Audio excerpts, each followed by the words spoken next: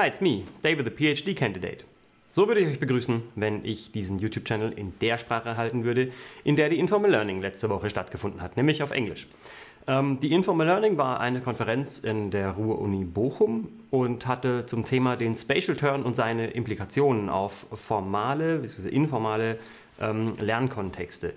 Und äh, der Spatial Turn ist natürlich was, was mich als studierten Geografen ja, ich will jetzt nicht sagen anturnt, wobei sich natürlich dieser Wortwitz anbietet.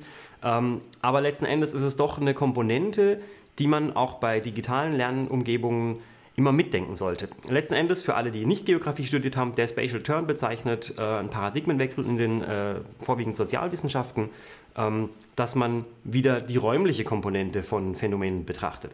Das heißt, ähm, gerade im digitalen, also im Internet, wenn ich eine Lernumgebung habe, wo viele Menschen zusammenkommen, dann entsteht dort kein Raum im Sinne eines dreidimensionalen Konstrukts, in dem ich mich bewege, ähm, sondern vielmehr ein soziales Gefüge. Und das kann man auch als Raum bezeichnen. Und was in diesem Raum passiert, was für Konstellationen sich dort auf dieser Lernumgebung in dem Kontext dann ergeben, das wird eben auch wieder immer mehr in den Fokus gerückt und betrachtet.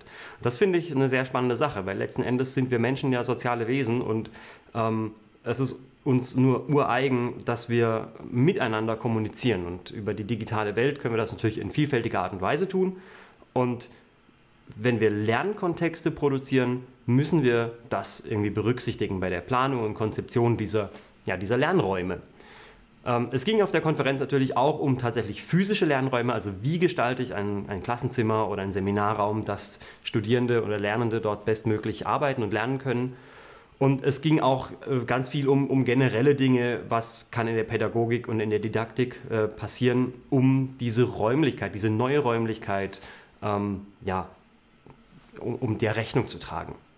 Also in der Hinsicht war das eine sehr spannende Tagung. Ich möchte mich aber bei dem Tagungsteam herzlich bedanken, dass ich meine, meine Forschung dort vorstellen durfte und natürlich auch bei allen äh, Anwesenden für die, für die zahlreichen ähm, ja, sehr wertvollen Inputs, die, die tatsächlich sehr zum Nachdenken angeregt haben. Und ich werde so ein paar Dinge auf jeden Fall in, in meine Arbeit einfließen lassen, ähm, weil gerade dieses informelle Lernen, also das nicht formale, äh, das ist tatsächlich eine spannende Geschichte. Und auch das kann man bis zu einem gewissen Grad auf jeden Fall planen. Und äh, das, das ist eigentlich, ja, das ist ziemlich spannend, was, was da passieren kann. Wir hatten auch äh, eine kleine Führung über den Campus der Ruhr-Uni Bochum, weil die dort sehr viel Kunst am Bau haben und mit Verlaub, das hat dieser Campus dringend nötig, denn wer mal dort war und sich die Betonklötze angeschaut hat, der weiß, was, ja, wie der Campus dort ausschaut. Das hat natürlich einen sehr eigenen Charme. Mir persönlich gefällt das nicht so. Also bin ich ganz froh, dass ich hier in Karlsruhe bin. Wobei der Campus nicht minder imposant erscheint deshalb. Also gerade das Gebäude des Audimax, was da wirklich im Zentrum des Campus steht, ähm, das äh, ist ja sehr, sehr gewaltig. Und das ist auch das Schöne als Wissenschaftler, wenn man auf Konferenzen geht, dass man sich mit anderen Menschen austauschen kann, dass man mal rauskommt aus seinem eigenen oder gewohnten Umfeld, äh, um einfach auch andere Eindrücke und Einblicke in, in sein Fach zu gewinnen oder in sein Fachgebiet. Und ich bin sehr gespannt, auf was für Konferenzen ich mich in nächster Zeit noch tummeln werde. In diesem Sinne, bis zum nächsten Mal. Ciao.